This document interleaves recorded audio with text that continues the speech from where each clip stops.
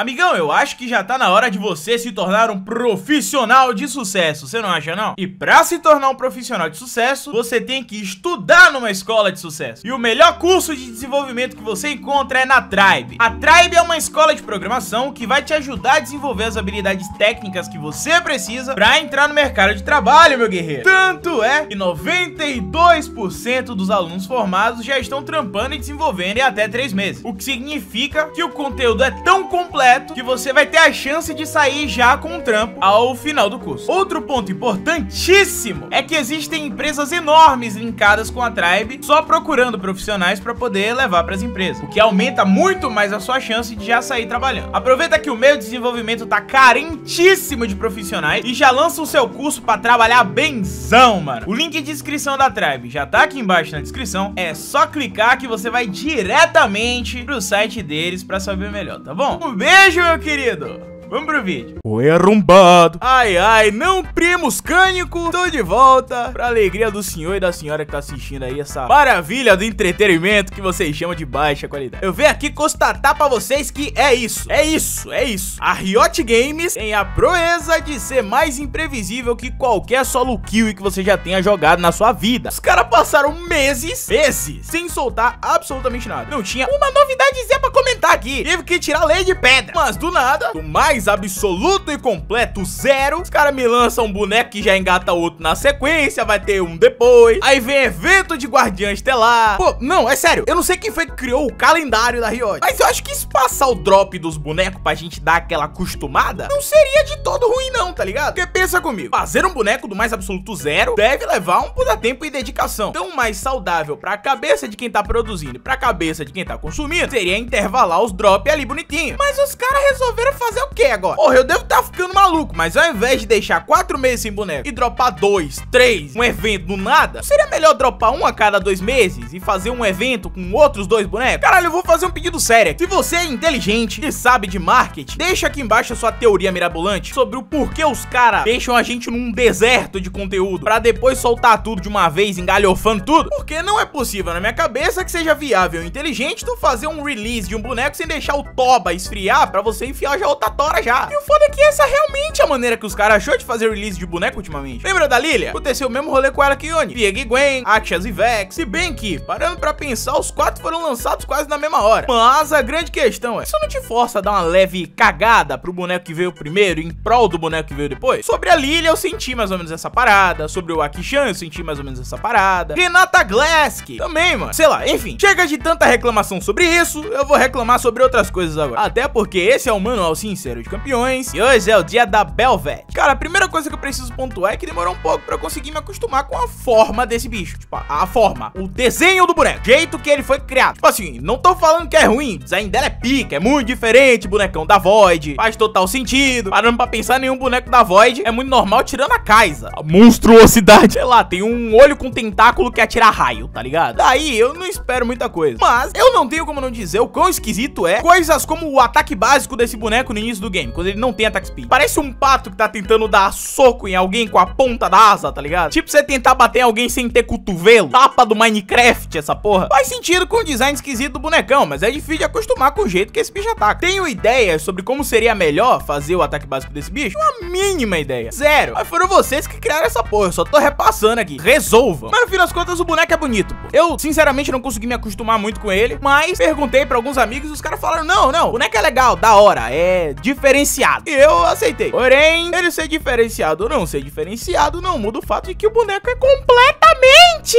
Caralho, os caras gostam de criar monstro, tá ligado? Enfim, passiva. A Bel tem basicamente a passiva do Lecim com puta plus. Tem a skillzinha. Os próximos dois ataques tem ali aquela ataque speed aumentada, dá um dano a mais. Isso, ó. Primeira parte é isso. Tranquilo, né? Beleza. Só que a segunda só é o fato de que ela aumenta o ataque speed infinitamente. Só isso só. Coisa tranquila, né? Não bobagem. Na verdade, me falaram que é capaz. A 10 pontos pontos. Lembrando que o ataque speed normal é capado a 2.5. Então você meter um boneco capado a 10, não me parece muito saudável, tá ligado? E o pior é que eu entendo o fato disso existir, até porque querendo ou não é um rolê novo e funciona legal, caralho. O problema real é, essa merda desse scale interage com as outras skills do boneco. E o melhor, com o ataque speed alto você estaca full tudo que tu tem direito aí, tá? O bagulho é instantâneo, caralho. Que ela dá dash, mas não qualquer dash. Ela tem 4 dash, um pra cada direção. Você pode dar os 4 dash, um pra cada direção. Só que não é bem pra cada direção. Até porque as direções do dash da Belvete são em cone, tipo os pontinhos da Fiora de bater da passiva. O que significa que a ponta de um dash e a ponta do outro são basicamente dois dashes pro mesmo lugar. Então eu não consigo considerar que são dashes pra cada direção. Dá pra você dar uma improvisada. E com improvisada eu quero dizer que se tu não tiver CC, essa porra vai chegar em você, tá? Ela vai chegar em você. Como se não fosse merda nenhuma chegar em você. O boneco tem 4 dash, porra. É impossível você não colar em alguém que você quer colar. Além de que cada dash proca a porra da passiva, o que significa que você tem 8 hits bufado por troca. Testa aí, você vai entender. W. O W do em vermelho, basicamente, quer dizer, basicamente meu pau. Porém com uma maldade, uma putariazinha boa. O W da Belzinha reseta o que na direção do alvo. Ou seja, se o cara não colou em você com 4 dash, ele tem 5 agora. Não tem como você correr disso se você não tiver CC. Não tem como. Tá de ADCzinho? Bebel chegou perto de você? Não vai correr, bebê. Você vai pra caixa. Vai voltar pra base. Mas com certeza. E essa é provavelmente a coisa mais quebrada do kit inteiro desse boneco. Ela tem uma ult da Catarina direcionada ao inimigo com menor vida. E Broken. Só que essa porra estaca com Attack Speed e ainda tem Life Steal a dar com pau. Life Steal? Ah, caralho,